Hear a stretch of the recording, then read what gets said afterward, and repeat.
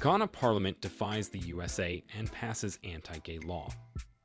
Earlier this year on May 29th, Uganda's President Yoweri Museveni signed one of the world's harshest anti-LGBTQ laws, including the death penalty for aggravated homosexuality, prompting Western outcry and risking sanctions from aid donors, and as most LGBTQ activists predicted, the Ugandan president's action has had a rippling effect on neighboring African countries, with Ghana's parliament just a few days ago unanimously passing an extreme anti-gay bill.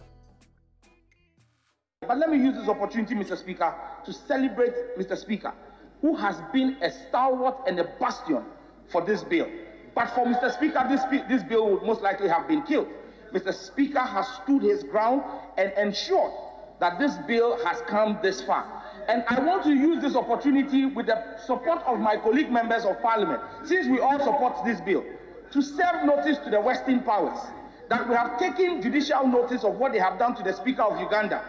After Uganda, after Uganda passed the bill, after Uganda passed the bill, the sanctions on the Speaker of Uganda's parliament and on the sponsors of those bills, we will serve notice as well that if they replicate same with our speaker and members of parliament, we will also take action against their business interests in our country.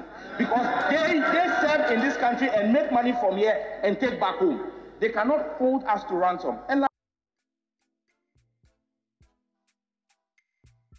this news comes after Ghana's President Nana Akufo-Addo stated that substantial elements of a draconian anti-LGBTQ bill being considered by its parliament have been modified after an intervention by his government.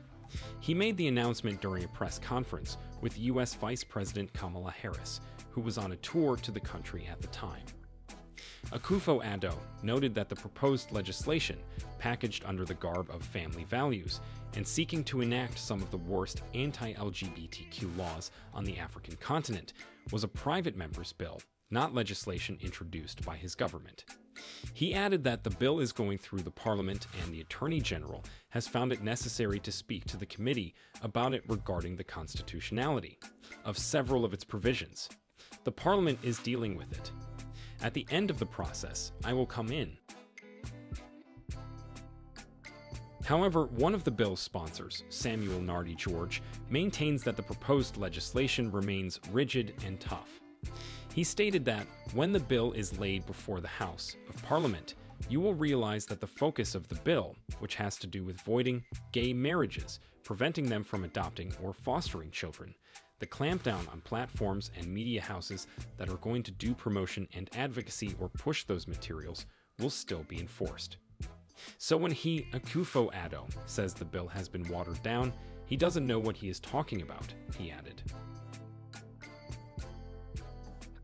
Just a few months later, 275 members of parliament unanimously passed the bill known as the 2021 Promotion of Appropriate Sexual Rights and Family Values Bill. Although same-sex behavior is already banned in Ghana, the law intends to criminalize the promotion, advocacy, funding, and actions of homosexuality. It increases prison sentences for LGBTQ plus campaigners to 10 years and for anyone identifying as such to 3 years. Moreover, the bill seeks to withdraw health services from the community, including HIV medication. According to the bill's principal sponsor, Senator Sam Nartey George, homosexuality is not a human right in Ghana, but a lifestyle choice. A sexual preference, with this rationale, legislators considered preferences as not absolute, and they did not hesitate to pass legislation opposing them. Furthermore, George cautioned the U.S. not to interfere with preparations to bring the bill into law, warning that if Washington imposes penalties on its legislators, we will also take action against your business interests in our country. He said this in reference to the travel restrictions imposed upon Uganda following the signing of their own anti-LGBTQ law. The Speaker of Parliament, Alban Bagbin, has also warned that LGBTQ practices are highly condemned and will not be tolerated in the country. He stated that, I am very clear in my mind that the Parliament of Ghana will pass this bill to criminalize LGBTQ. I have gone through it, and I will confirm that the bill will be a reference point for many countries. it has gone through all the provisions of the Constitution, laws, and international obligations. The Promotion of Appropriate Sexual Rights and Family Values Bill was introduced in 2021, and it still needs to pass a third reading in the House and be signed into law by Ghanaian President Nana Akufo-Addo before it becomes legislation. Since its passage, however, the bill has been met with outrage both at home and abroad, and multiple lawsuits have also been filed to challenge the bill in the country's courts. Rightify Ghana, a human rights organization in Ghana and a critic of the bill, believes that the passing of the bill undermines efforts in fighting HIV and AIDS. Furthermore, they cited a 2021 UNAIDS statement that considered this bill as violating the LGBTQ community's basic rights. The statement warned of the possibility of international law violations if the bill passed, saying, Given that LGBTI people are present in every family and every community, it is not difficult to imagine how, if it were to be adopted, this legislation could create a recipe for conflict and violence. While critics are saying the bill infringes on the rights guaranteed in Ghana's constitution, supporters of the bill are saying that the bill will help to preserve Ghanaian values. What do you think?